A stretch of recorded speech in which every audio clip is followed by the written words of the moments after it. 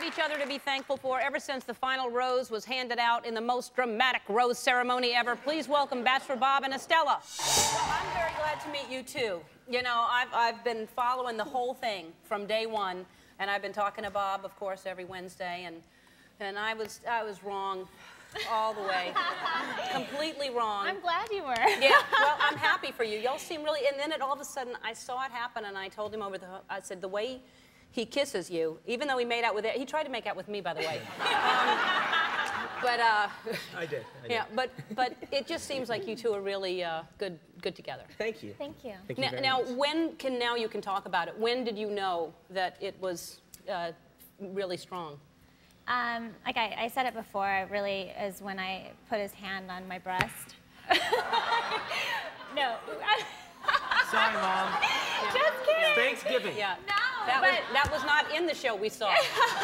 It was the first night. That was the fantasy yeah, suite. yeah. no, it was actually it was it was when my um, we had my hometown date with my mom. Right. And he met he met my mom, and it was just the, the way he made her laugh. And she had told me that he made her laugh the way my father did. Right. And she was just really excited and happy. So that was really, I think, the turning point for me. And then that must have been hard that he's dating all these other women, and now you're knowing, okay, this isn't just kind of fun, and here's a great guy, but I now really want this to happen. Yeah. I mean, and then you, and you all, Kelly Jo was here the other day, and she said she really likes you, and you all get along, but that's still really hard to be friends with somebody who's dating this guy that you really like. Yeah, you know what? It was weird because you would think that you would you never would be friends with someone that was dating your boyfriend, but in the house, I mean, I'm friends with all of them, but but when I was um, in the house, um, the girls were so great. It was hard not to be friends with them. Kelly Jo, Meredith was in, amazing. Most of them were great. Yeah, except for one. Yeah. Oh, God.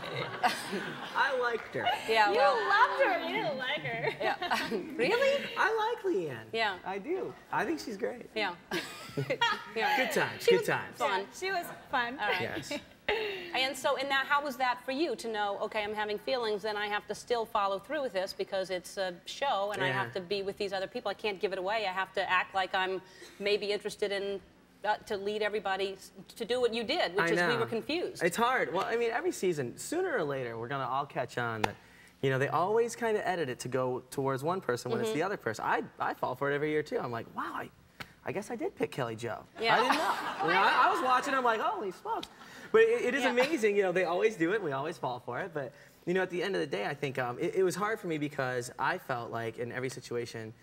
I, I knew how I felt uh, about uh, Estella, and I knew how I felt about Kelly Jo, and I did truly care about both of them a lot. And um, as it came down to the final two, and I took them home to meet my family, and you know, every single step of the way, I was just always like, oh my gosh, what am I gonna do? You know, where am I at? I'm gonna hurt somebody. I'm gonna hurt myself. You know, and I, it just got more and more, you know, kind of like compounding on top of one another as to where I was gonna be with things. And so in the end, um, obviously, I chose Estella, and thankfully, she accepted the ring that I gave her. Can I see the and? Uh, yeah, it's That's pretty. beautiful. Yeah, it's nice. Now you're wearing it on your right hand because there's no. It's a. It's a promise to to go forward with figuring this out. Yeah, I, I felt at that moment um, I wasn't ready to be engaged, Mm-hmm. you know, and um, I hadn't been able to date her when I wasn't dating her friends. I hadn't been able to date her when I wasn't in front of a TV Right. camera. I wanted to see what would happen when the cameras were off. Well, we, we uh, look forward to uh, letting you have that time because it's, it's a very weird thing to go through this whole process and everybody judging it and figuring out and if it's going to last and all. And, and all of a sudden you're not, you're just regular people who are dating and you're on all these, you know, on television all the time. So Right. I'm sure you're looking forward to finding out what it's like without Definitely. that. We, uh, do we have a gift for them? It's always on this side. I should learn. Um, So we're going to give you this uh, Kodak. Uh, it's, a, it's a digital camera because I can't follow you around anymore. So um, I'd like you to take pictures and send us. Uh, you know, and you're going to Trista and Ryan's wedding. We'll send you some Send- pics. Send me some chi- pictures of what's going on. And uh, congratulations. I'm glad that you two are happy. And thanks for being with us. Thank you very All much. right, we'll be right back.